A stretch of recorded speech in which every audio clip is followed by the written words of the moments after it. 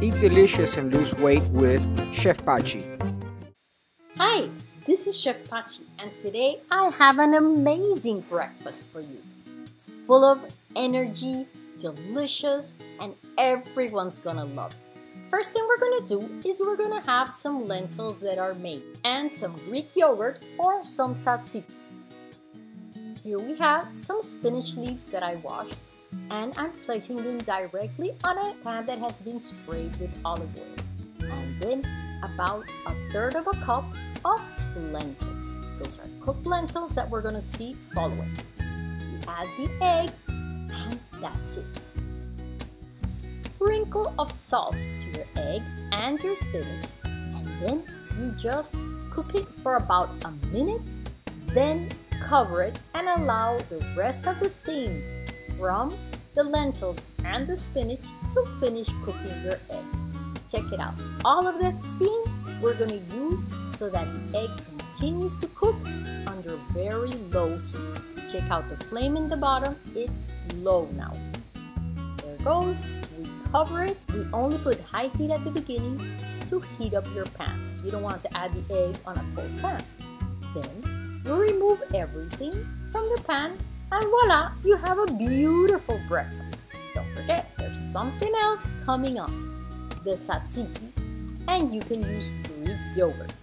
This is tzatziki from a friend that sells it and she makes her own yogurt. You can also do it with Greek yogurt as I do when I don't have tzatziki at home. Imagine that in less than three minutes you were able to prepare this wonderful breakfast filled with energy for everyone and delicious. Because remember, with Chef Pachi, delicious food amazingly.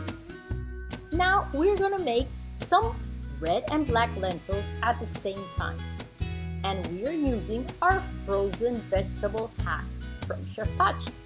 First thing we're gonna do is we're gonna add a couple of frozen ice cubes of chopped shallots. Second thing we're gonna do is we're gonna add some shishito peppers or some sweet peppers to each of the pans too, one to each. Now we're gonna cut a tomato in half, half for one, half for the other, and a red bell pepper, which is a tiny bell pepper we get in Panama called ají dulce also. It's ají, not like the tiny ones, but a little bit smaller than the bell pepper. And some fresh peppercorns from a pepper pod. These are amazing. When I find them, I buy them, I refrigerate them, and sometimes I dry them. That's why they look black, because when they're fresh, they are green, beautiful. Now we're gonna add two cubes of chopped cilantro, chopped with no water added. A half a teaspoon of garlic to each of our pans. This is it. It's gonna be perfectly delicious. And if you wanna add some more, it's fine. So here we have each of our pots with our ingredients ready to go. Now our lentils, I like to hydrate them first. So you're gonna see that, that I pour them in a cup and then we place them on a sieve so that we can wash them and that way they sit there for about 15 minutes in water and once we have the water removed we can place our lentils back in the pot.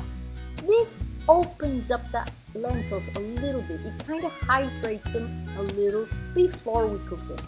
It increases their flavor and reduces a little bit of the cooking time. Even if we just had the lentils in water for 15 minutes, I love to use it. This is kind of like sprouting them, like giving them a little bit of life before cooking them. So here we have our black lentils and our red lentils. Okay, so here we go. We're gonna put all of our lentil mix at high heat at the beginning, only until it comes to a boil. Check it out. Here we have our mixtures, both at the same time. And once they come to a boil, we cover them and cook them until the lentils absorb all of the liquid and it's gonna take about 15 minutes. It might take a little longer if your lentils are not that fresh, but once the water is all dried out and evaporated, it's done. If you want to keep them open without a cover, you can cook them like that too. But remember to keep the boil just down to a simmer. That means that you don't keep cooking them on high or medium high heat. If you want to cook them uncovered, then all you have to do is bring them to a boil, turn your heat down, and simmer them. And it might also take like 20 minutes. So whatever you want to do, no problem. Nothing's gonna happen to them if they cook a little more or a little less. These lentils are very strong and sturdy and it, they will be amazing. They are going to be delicious and they're not gonna fall apart. Look at them.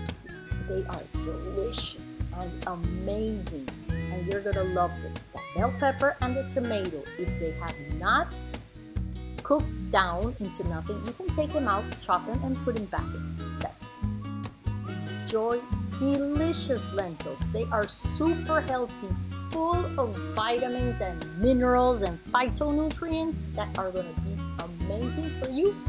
Remember, with Chef Pachi, delicious food, amazing mood.